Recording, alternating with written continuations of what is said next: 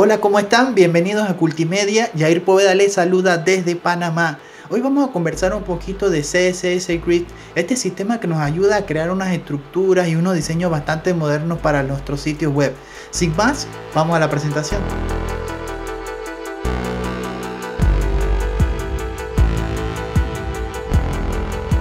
Muy bien, aprovecho para comentarles que todos los jueves a las 7 y 30 pm hora de Panamá tenemos un meetup que se llama Style Leading, donde conversamos de diferentes temas de diseño y desarrollo web.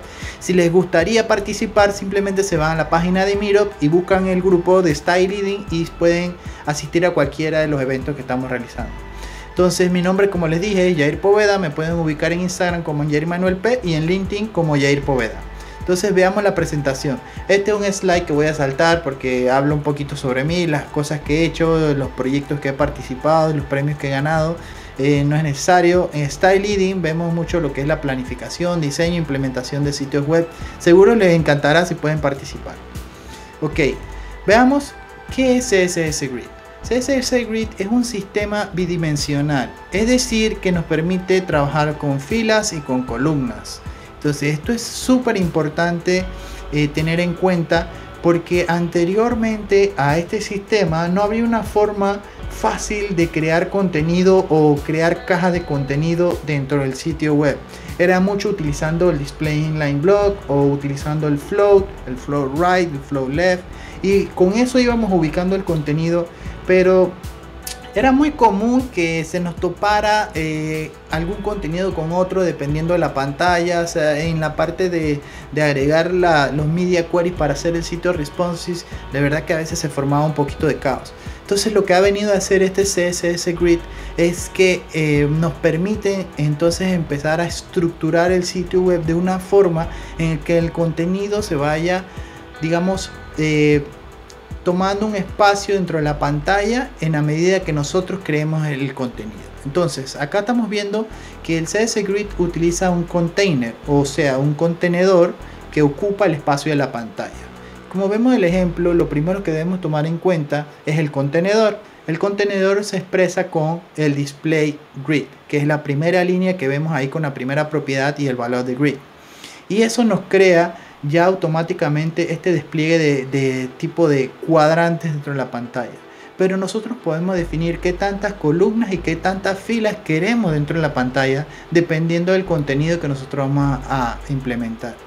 Y en el ejemplo vemos que tenemos, por ejemplo, en Grid Template Column, una fracción y una fracción. Es decir, estamos declarando dos columnas, si lo vemos como columnas, porque es más fácil interpretarlo así. Entonces, vemos que tenemos una fracción, pero una fracción de qué? Eso tiende a confundir. ¿A qué te refieres con una fracción? Es una fracción del espacio que tenemos disponible en pantalla.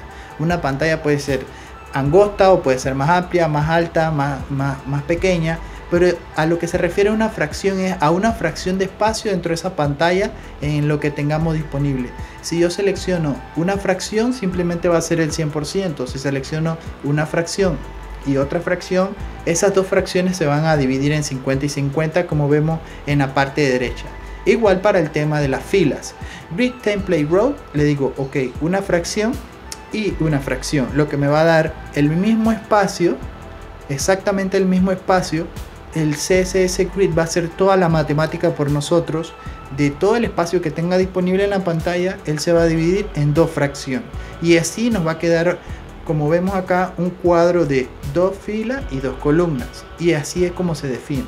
Aquí lo único que está haciendo la propiedad de height, de 100% view por height, es que ocupe el, el 100% del alto de la pantalla. Para que nosotros podamos ver el ejemplo tal cual eh, lo vemos a la mano derecha. Se preguntarán por la compatibilidad de esto en los navegadores. Entonces, la compatibilidad es muy amplia. Eh, ya no es algo nuevo, ya esto tiene rato de 2016 trabajándose. Entonces, muchos navegadores ya están eh, con esa compatibilidad, a la excepción de Internet Explorer, que bueno, ustedes entenderán que se usa mucho a nivel corporativo, no es como algo, digamos, muy popular hoy en día, inclusive ya a esta altura en el 2020 están haciendo unas implementaciones con el motor de Google Chrome para su navegador y eso ha ido como que mejorando un poco el tema de Internet Explorer que por siempre desde, hace muchos años siempre es el que el último que implementa eh, cambios y todas estas cosas que van saliendo para mejorar el diseño web entonces sin más vamos a ver unos ejemplos para que quede un poquito más claro de lo que les quiero decir con, con lo de las columnas y con lo de el tema de las filas y todo y podamos ver como que más casos de ejemplo entonces aquí tenemos la ventana del código ya está todo, eh, digamos que correctamente configurado como lo teníamos en el ejemplo. Tenemos una página de ejemplo, que es esta página que tenemos a la mano derecha. Estamos declarando los estilos en el mismo documento, en el arriba del head. Y lo único que hicimos acá fue reiniciar los márgenes con el body, margin el padding a cero y creamos nuestro contenedor principal. El CSS Grid necesita un contenedor principal que es donde se va a ubicar todo el contenido que nosotros vamos a ir agregando a los espacios o a las fracciones que nosotros vamos definiendo. Y tenemos acá el mismo ejemplo que vimos hace un rato. Si nosotros vemos la pantalla y vamos al navegador, vemos que se están cruzando como unas líneas que nos marcan que tenemos dos filas y dos columnas, si lo vemos así. Pero es muy importante que sepan que el CSS Grid utiliza una referencia de líneas. ¿Qué son las líneas? Las líneas son precisamente, si ustedes ven en la primera, en la primera columna, nosotros tendríamos dos líneas, que sería la primera línea que está iniciando a la mano izquierda del navegador y la del medio. Y adicional tenemos una tercera línea que está a la, al final a la mano derecha. O sea que en tema de vertical tenemos tres líneas, pero también tenemos tres líneas en horizontal. Y eso es muy importante que, que lo tengan claro porque de esa forma es que vamos definiendo el espacio de nuestro contenido. Entonces, vamos a ver un, ejemplito acá. ¿Cómo nosotros hacemos para que nuestro contenedor ir, a, ir eh, ingresando contenido? ¿Cómo vamos viendo que el contenido está dentro de nuestro eh, grid? Nosotros acá en la parte del HTML eh, o en la sección del body vemos que tenemos una sección que se llama main container que es ya donde tenemos definido el grid y tenemos dentro de ese main container cuatro, cuatro div más con una clase de items entonces para poder entender dónde se ubica ese contenido lo que voy a hacer acá es decirle a items eh, nth of type de 1 simplemente aquí lo que vamos a hacer es lo que estamos haciendo es que dentro de la clase de, de items vamos a ubicar un elemento que sería el primer elemento del tipo items. Entonces a este elemento le vamos a poner un background. Simplemente para ir notando el, tono del donde está ubicado ese elemento dentro de la pantalla.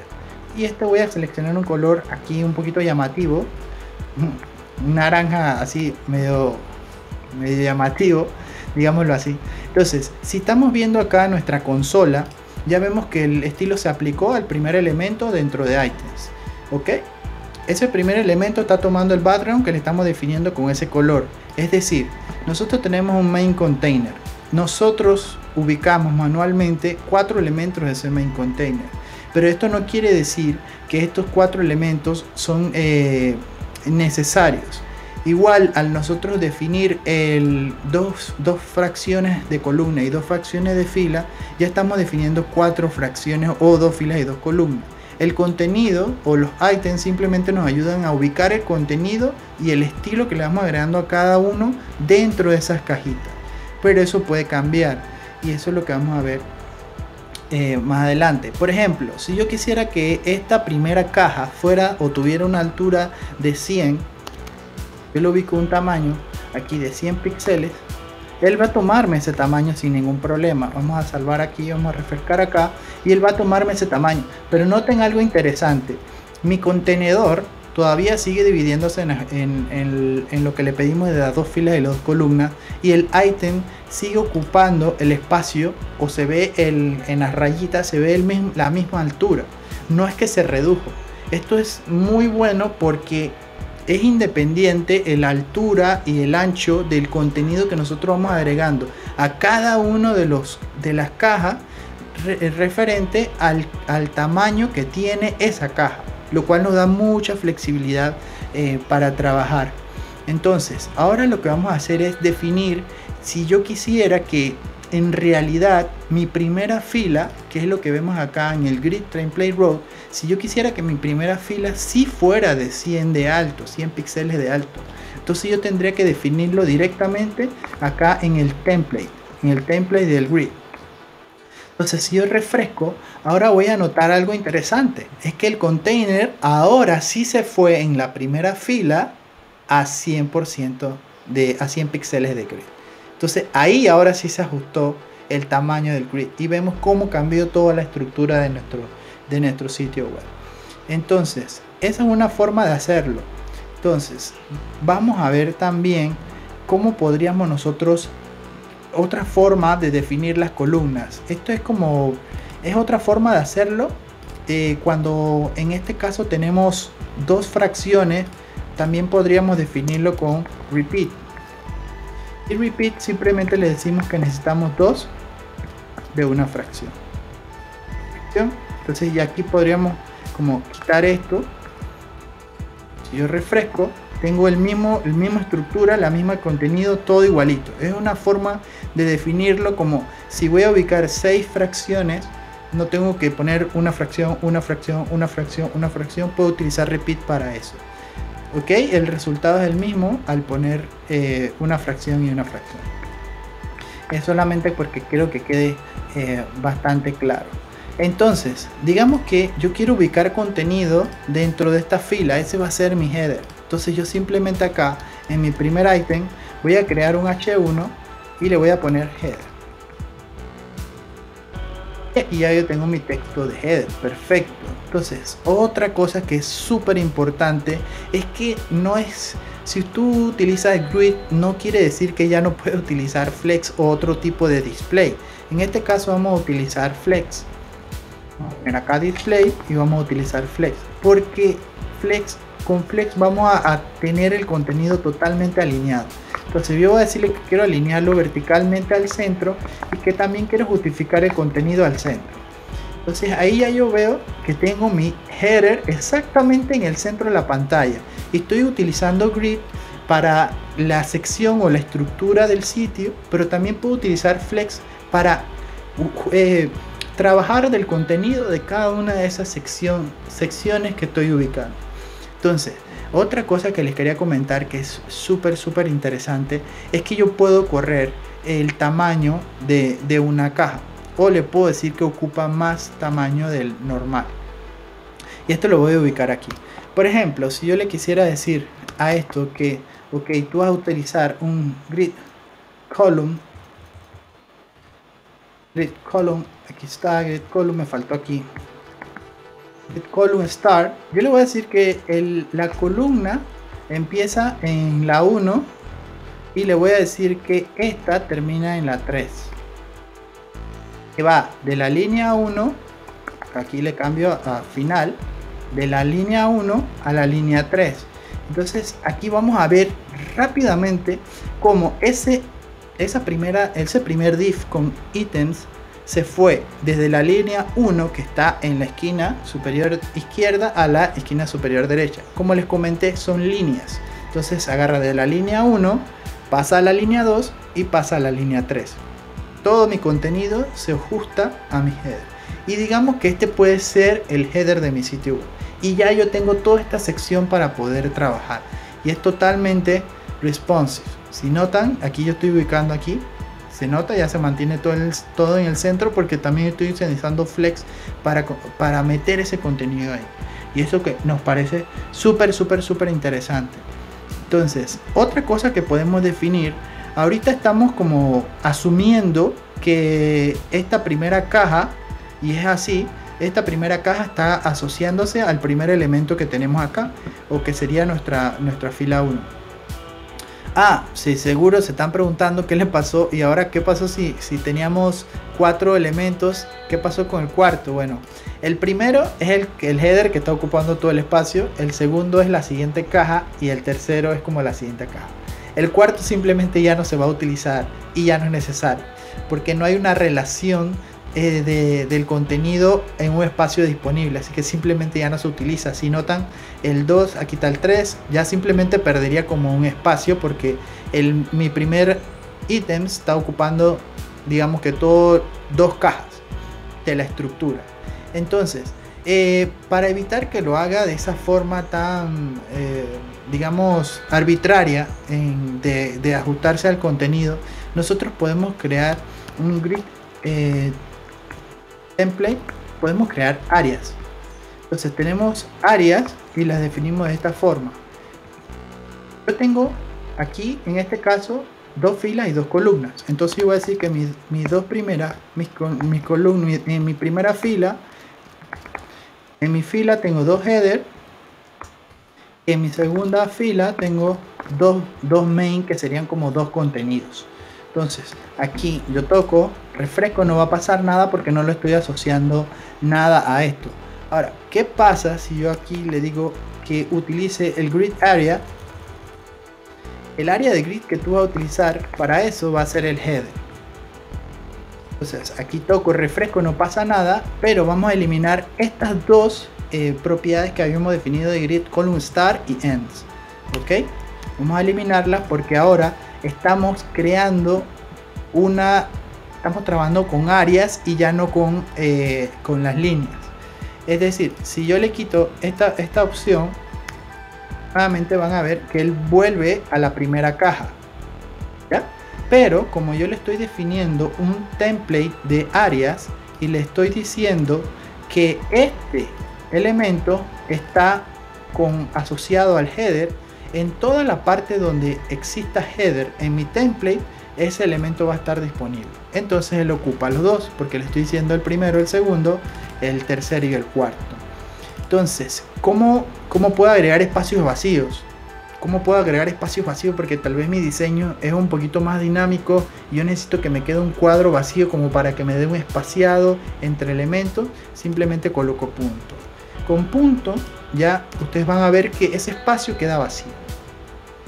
¿Ya? Ese espacio queda totalmente vacío y no queda asociado a ninguna eh, a ningún no se puede como asociar a ningún template. Simplemente es como un área vacía dentro de mi diseño. Esa es una forma también que se puede como que definir eh, todo este asunto del, del grid area. Entonces a ver qué otra cosa les puedo mostrar ok ya vimos el grid area Ok. Oh, mira, algo súper interesante es que se puede agregar el gap. El gap es algo, es como, uy, puse otra cosa que no tenía nada que ver. Gap. El gap yo le puedo decir que es de 10 píxeles y miren cómo va a cambiar esto. Automáticamente él asigna, si lo logran ver ahí, ven como un espacio de 10 píxeles entre las filas y las columnas. Pero eso puede ser así, pero yo también puedo agregarle un, un column. Aquí column column gap de 10 píxeles y va a cambiar a solo la parte de las columnas. O sea entre las columnas va a haber una separación de 10 píxeles pero también puede ser un row gap. Perfecto. Entonces aquí están viendo que ahora la separación o el gap es entre, entre cada una de las filas. Y esta es una forma muy, muy dinámica de crear ese espaciado entre los elementos y súper, súper interesante. Entonces, vamos a hacer otra cosita acá. Vamos a definir que, por ejemplo, si en el caso de que nosotros estuviéramos dejando este espacio en blanco, ok, dejamos este espacio en blanco aquí porque yo tengo otro tipo de contenido acá. Tal vez acá tengo el logo y acá tengo el menú. Entonces, cuando mi sitio es responsive, aquí voy a tener como algunos problemitas. Déjenme minimizar. Este es mi correo. No la mi correo. Ok. Este es. Aquí vengo el espacio y ve que se va como achicando porque él va ocupando la misma fracción de todo el, el del espacio disponible en la pantalla, ¿cierto? Pero ¿qué pasa si yo no quiero que él se achique tanto? Porque no quiero que me vaya a dañar el logo.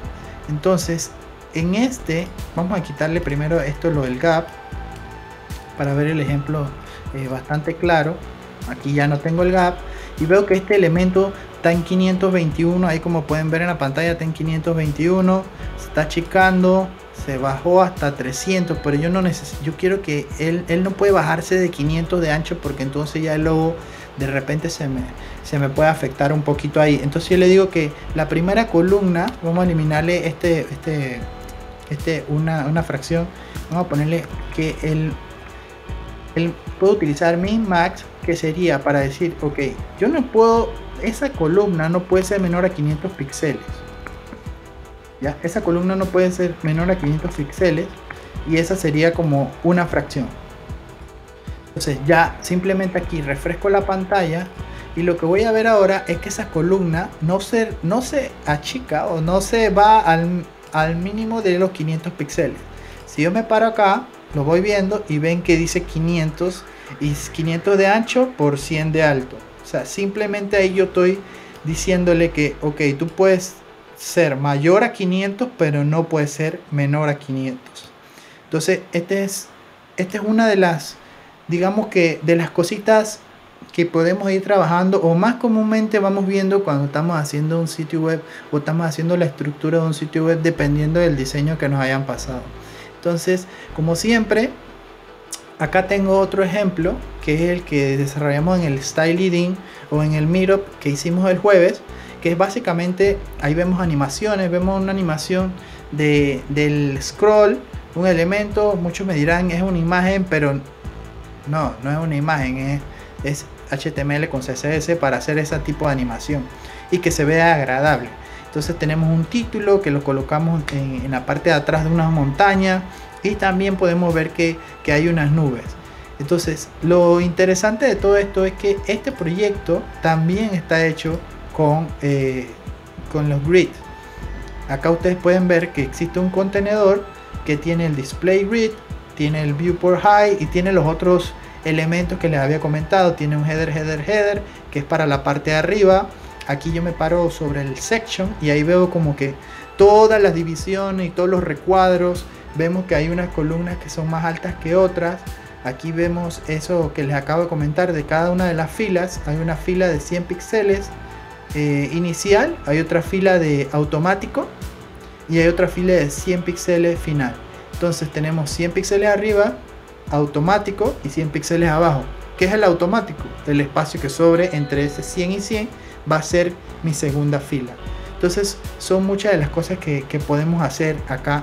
Igual les comento siempre que eh, yo les paso todos los archivos de este proyecto para que puedan hacer sus experimentos, eh, ver el proyecto en detalle, analizar el CSS y como eh, tratar de sacar un poquito de, algo que puedan utilizar dentro de sus proyectos. La intención es siempre que esto les pueda servir de algo, que estos videos le den como que una luz de por dónde empezar o por dónde seguir en la parte de, conocimiento de estas nuevas, eh, de los nuevos sistemas y herramientas y estructuras que existen para que nos hacen, digamos, cada vez la vida más fácil en el tema del diseño y el desarrollo web. Entonces, sin más, eh, en la descripción voy a poner un enlace donde pueden descargar estos archivos. Como recuerden que pueden unirse al Meetup eh, todos los jueves a las 7 y 30 pm hora de Panamá y ahí podemos conversar un poquito de diseño y desarrollo, hacemos proyectos en vivo y estoy seguro que les va a gustar. Así que eh, espero que se encuentren muy bien, cuídense y hasta luego.